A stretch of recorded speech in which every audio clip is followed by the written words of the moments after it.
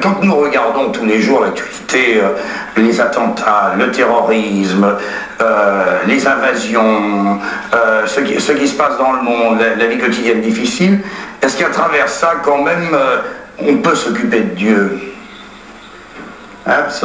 Absolument. Very beginning. Je crois que ça date du tout début. Adam and Eve. Euh, vous avez eu le premier homme Adam et vous avez la première femme Ève, deux enfants, euh, Abel et Cain. Cain était jaloux d'Abel et l'a tué. Été, disons, le premier acte de terrorisme ou la première guerre, si vous voulez, et ça s'est poursuivi dans toute l'histoire connue. Malheureusement, aujourd'hui, nous avons une nouvelle technologie qui permet la destruction de masse, des bombes atomiques et tout le reste. Et je crois que c'est une énorme différence. Le cœur de l'homme est identique. Et les mêmes facteurs qui ont provoqué la guerre dans l'histoire sont toujours présents au, au cœur de l'homme. Lorsque Dieu a jugé Ninive, Ninive s'est repenti. Et Dieu a à ce moment-là réservé son jugement. Et donc Ninive a survécu. C'est ce qui pourrait se produire si la race de l'homme pouvait se tourner vers Dieu. Alors, euh, va, pas, va, paraître en France, euh, ou paraît ces jours-ci, un, livre à l'occasion de, votre passage en France, euh, qui s'appelle La dernière chevauchée, les quatre cavaliers de, de l'Apocalypse. Ce mot Apocalypse, c'est en quelque sorte le, danger suprême que vous faites planer en permanence lorsque vous adressez à vos auditoires, non? Et vous avez l'impression qu'il est, il est, il est là, il est prêt, il est proche? Est-ce que c'est un dieu de la résignation, le vôtre?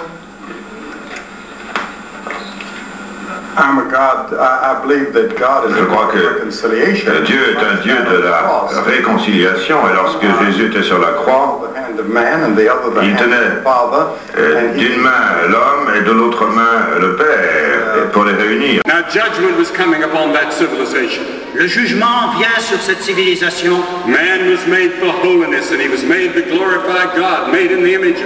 L'homme a été créé à l'image de Dieu, il a été fait pour Dieu, pour la sainteté. But man had gone a long way from what God intended him to be. Mais l'homme s'est éloigné bien loin de ce que Dieu voulait qu'il soit. Man was totally perverted. L'homme s'est perverti. But when the flood came, no one could ever say, we didn't know the flood was coming. Quand le déluge est venu, personne ne pouvait dire, ben, on savait pas. Before judgment comes, God always warns. Avant de faire tomber son jugement, Dieu nous avertit toujours. They knew about the judgment upon Cain, the first son of Adam and Eve. Les euh, gens du temps de Noé connaissaient le jugement qui était tombé sur Caïn, le fils d'Adam et Ève. The Spirit of God was speaking to their souls. Et l'Esprit de Dieu était à l'œuvre dans leur cœur pour leur parler. They had Noah's preaching. Ils avaient entendu la prédication de Noé. They had an illustration of the ark being built. Et ils avaient vu l'arche qu'on construisait devant eux. They had Noah's own faith. Et ils pouvaient voir la foi de Noé. There was no supreme court to appeal to. Impossible de faire appel à une cour suprême. God had extended his love. Dieu avait les avait aimés aussi loin qu'il était possible. He had offered them mercy and righteousness in every possible way, and they rejected it all. Il leur avait offert sa miséricorde, sa compassion de toutes les façons possibles et ils l'avaient repoussé. Jesus said, if ye believe not that I am he, ye shall die in your sins. Jésus dit, si vous ne croyez pas que c'est moi, vous mourrez dans vos péchés. Jesus said, Verily, verily, I say unto you, he that heareth my word and believeth on him that sent me hath everlasting life, and shall not come into condemnation, but is passed from death to life. Jésus a dit, en vérité, en vérité, je vous le dis, celui qui entend ma parole et qui croit en celui qui m'a envoyé a la vie éternelle. Il ne vient pas en jugement, mais il est passé de la mort à la vie. So Noah got all the animals in the ark. Noé a donc fait entrer tous les animaux dans l'arche. I don't know how he did it. Je ne sais pas comment il a fait. We're not told. On ne nous le dit pas. He got his family in. Et sa famille aussi. And a great crowd of people had gathered. Et j'imagine qu'il y avait une grande foule autour de lui. And in my imagination I can see them. Et je peux les voir en imagination. Some of them are saying to themselves, you know, I better listen to him.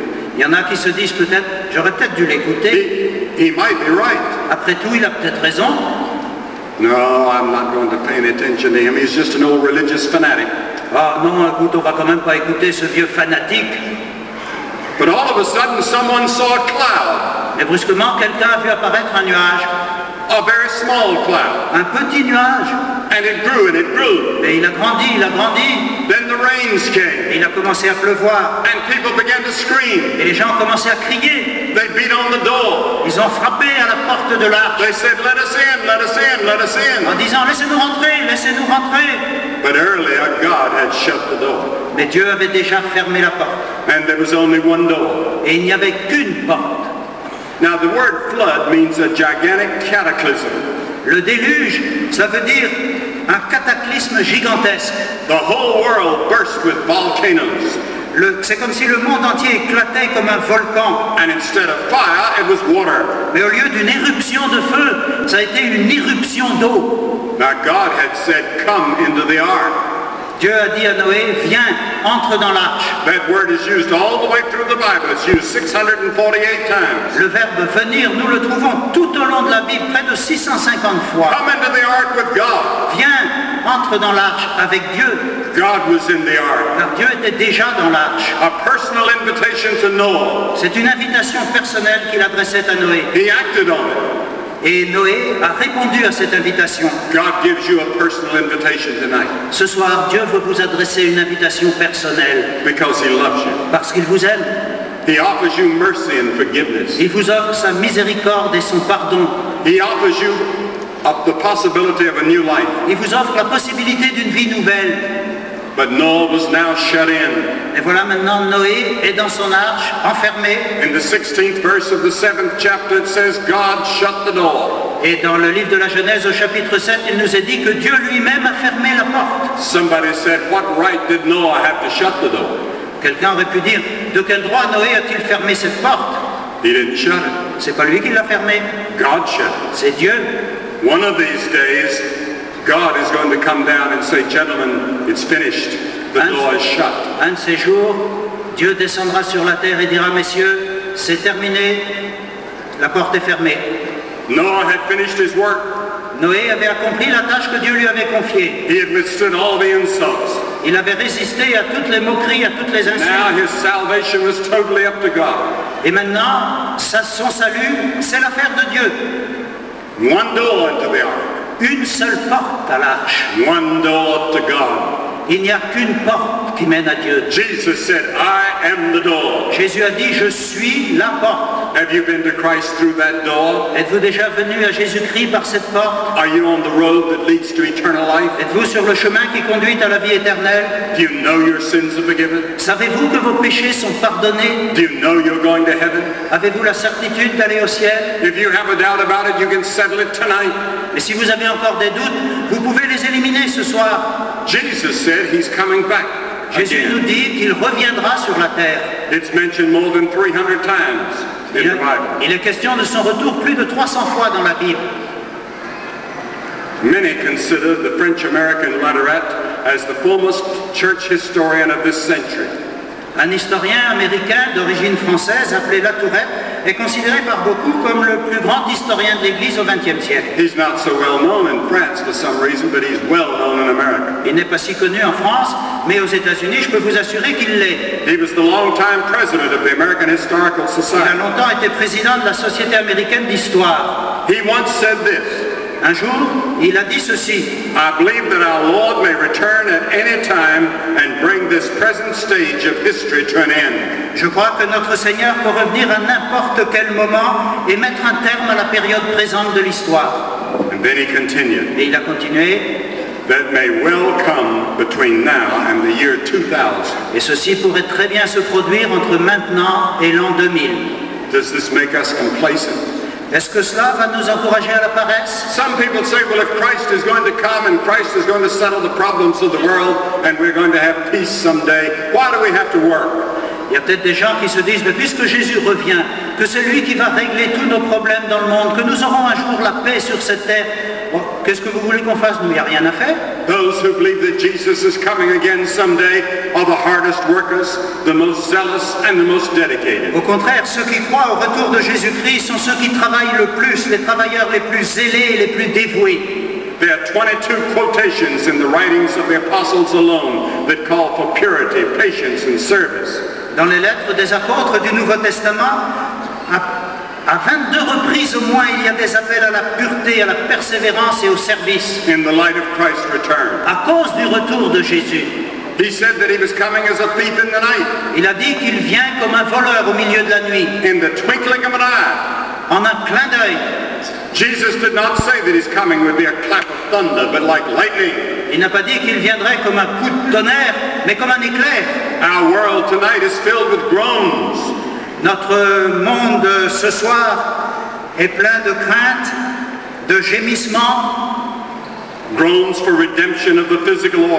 Le monde soupire après la rédemption de l'univers physique. Groans for freedom. Le monde soupire après la liberté. Groans for wholeness. Le monde soupire après la plénitude. Groans for liberation. Le monde soupire après la libération. The, the editor, an editor in America said a few days ago, a climax of some kind seems to be approaching the whole world. Le rédacteur d'un journal américain a écrit il y a quelques jours, le monde semble s'approcher d'une crise décisive. I'm not here tonight to frighten you. Mais je ne suis pas ici pour vous faire peur. I'm here tonight to offer you hope Je suis venu au contraire vous apporter une espérance. that in the midst of all the chaos and the troubles we see in the world today, there's hope. And the hope is that Jesus Christ is coming back. Une espérance au milieu de tous les soucis, de toutes les inquiétudes que nous pouvons avoir aujourd'hui. Et cette espérance, c'est que Jésus revient. You remember two years ago we had the 40th anniversary celebrations of D-Day? Vous vous souvenez qu'il y a deux ans, on a célébré le 40e anniversaire du débarquement allié en Normandie. And you remember that story that was in the newspapers about the French-Canadian Al Mazzaroli returned for the first time to Normandy? Et peut-être avez-vous lu dans les journaux l'histoire de ce Canadien français, Al Mazrol, revenu en Normandie pour la première fois. He was greeted by Edith Bodine, Il a été salué par Edith Baudin, who had not seen him since she had been ruthlessly shot by the retreating Nazis as a little girl. qui ne l'avait pas vue depuis qu'elle était une petite fille, au moment où les nazis l'ont gravement blessée par balle. She would probably have died had not Al saved her life. Elle serait sans doute morte si Al Mazrol n'avait pas risqué sa vie pour la sauver. He came close to death in saving her. Et lui-même, en la sauvant, s'est trouvé très près de la mort. Now with tears streaming down both their cheeks, Edith Rodine threw her arms around Al and exclaimed with one word, Savior. Quand ils se sont revus, ils avaient tous les deux les yeux pleins de larmes et Edith Rodin a jeté ses bras autour d'Al Mazrol et elle n'a prononcé que ces mots, mon sauveur. Do you remember that emotional picture of them hugging each other at Normandy? Vous avez peut-être vu cette photo de cet homme et de cette femme qui se tenaient serrés l'un contre l'autre? One day, perhaps soon, Un jour, peut-être bientôt, Jesus Christ who gave his life for us on the cross Jésus-Christ qui a donné sa vie pour vous sur la croix is going to return reviendra and we'll have one word, et nous n'aurons que ces mots à lui dire, Lord and Savior. mon Seigneur et mon Sauveur. And the Bible says every knee shall bow and every tongue shall confess. Et la Bible nous dit que tout genou pliera et toute langue confessera. And the scripture says in Revelation, the 21st chapter, and God shall wipe away all tears from their eyes. Et la Bible nous dit dans le livre de l'Apocalypse au chapitre 21 que Dieu essuiera toute larme de leurs yeux. There shall be no more death, Il n'y aura plus de mort, neither sorrow, ni de douleur, nor crying. ni de pleurs. Neither shall there be any more pain, for the former things have passed away. Et il n'y aura plus de souffrance car les choses anciennes sont passées. In Joel's prophecy, he said multitudes in the valley of decision. Le prophète Joël, dans une prophétie, a dit qu'il arriverait des foules innombrables dans la vallée du jugement. For the day of the Lord is near in the valley of decision. Car le, le jour du Seigneur est proche dans la vallée de la décision. But the scripture also says in Joel, and it shall come to pass that whosoever shall call upon the name of the Lord shall be saved. Mais ce même prophète nous dit que quiconque invoquera le nom du Seigneur sera sauvé. Are you inside the ark? Êtes-vous dans l'arche? Are you out where people are drowning? ou êtes-vous au dehors là où les gens se noient? Some of you feel like you're drowning. Certains d'entre vous, vous avez peut-être l'impression d'être en train de vous noyer. Very little purpose or meaning to your life. Votre vie n'a pas de sens, elle ne mène à rien. You're searching for something. Vous cherchez quelque chose You don't know what it et vous ne savez pas ce que c'est. You were made in the image of God. Vous avez été créé à l'image de Dieu. You were made for fellowship with God. Vous avez été créé pour vivre en communion And without avec Dieu. Sans Dieu, Without Him, you can never find perfect peace and happiness. vous ne pouvez jamais trouver la vraie paix, le vrai bonheur. But in Christ, you can start a new life. Mais en Christ, vous pouvez commencer une vie nouvelle. Your sins can be forgiven. Tous vos péchés seront pardonnés. Christ will come into your heart. Et le Christ viendra dans votre cœur.